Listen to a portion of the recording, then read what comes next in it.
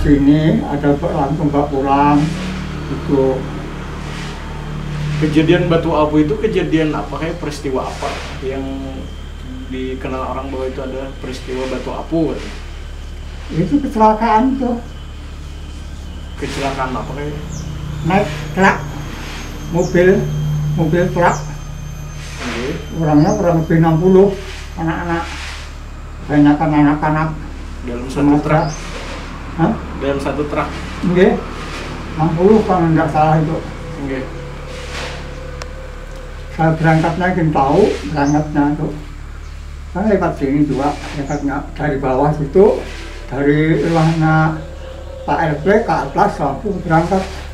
Simpang ban nambah orang lagi anak-anak itu ada yang naik lagi jarnya. Gitu. Oke. Itu dulu kayak hendak berangkat sepak bola, Ya. anak-anak dari Banjarbaru nah itu ditumpangi menggunakan truk. Truk ya.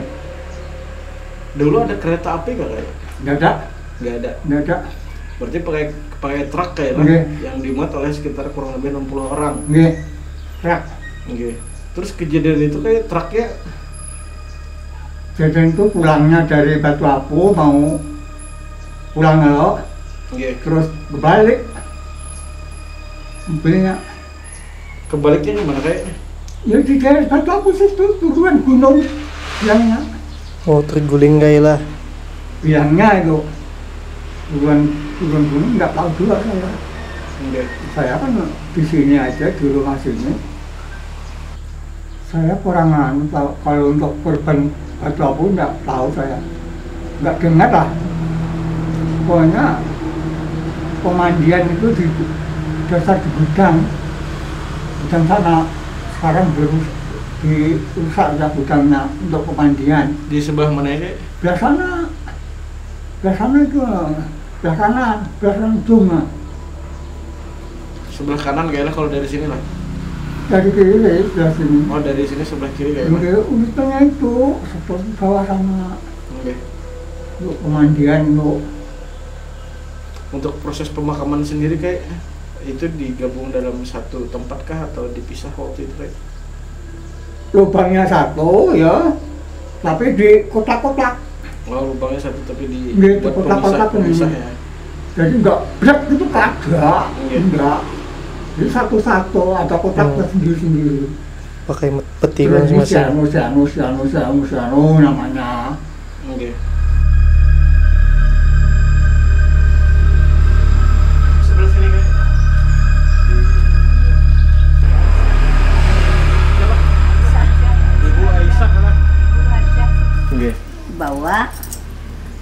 sana. Dikumpulkan. Dikumpulkan gitu. Tapi sebagian ada yang dibawa keluarganya. Hmm, oke. sebagian. Soalnya kan banyak di sini nih anak kos. Oh di sini tuh banyak anak kos banyak tuh. anak kos yang umpat nang ke anu nih. Kecelakaan kan asalnya tuh hendak pertandingan. Pertandingan sepak pertandingan. bola Hmm, ke di Benuang iya. Jadi sebelum pertandingan, pertandingan kan sore, rencana nih jam 4. Oke. Jadi wisata dulu ke Batu Hapu. Mungkin tak nggak tahu mulutnya itu saking penuhnya mungkin Iya. kami waktu itu ke kandangan ada pengantin kawan. Jadi sampai di sana sore sore itu kan kami mencari mana yang orang RP Sparto yang hendak pertandingan. Kok kededa ah itu ada semalam anu jar. Orang Banjarbaru kecelakaan. Nah itu yang kami cari ke puskesmasnya di diampar di puskesmas. Oke. di Nuang lalu sorenya tuh sore apa sampai malam mengangkut mayat. Bawa sama yang sakit-sakit juga diangkut. Bawa ke sini waktu itu kurang lebih ada berapa mayat waktu itu bu yang yang meninggal dibawa tuh 23 kah katanya yang dibawa? Heeh, jadinya tah Iya. tapi lebih pang yang meninggal tuh sebenarnya aja ini cuman ka- kami kadang kadang melihat di bujur-bujur tah Oke. Dan Sampai situ. kalaunya Banjarbaru banyak warga sini kah katanya bu? eh banyak ada yang serumahan lah bilangnya Hmm. Yang yang sebelah nih nah yang sebelah nih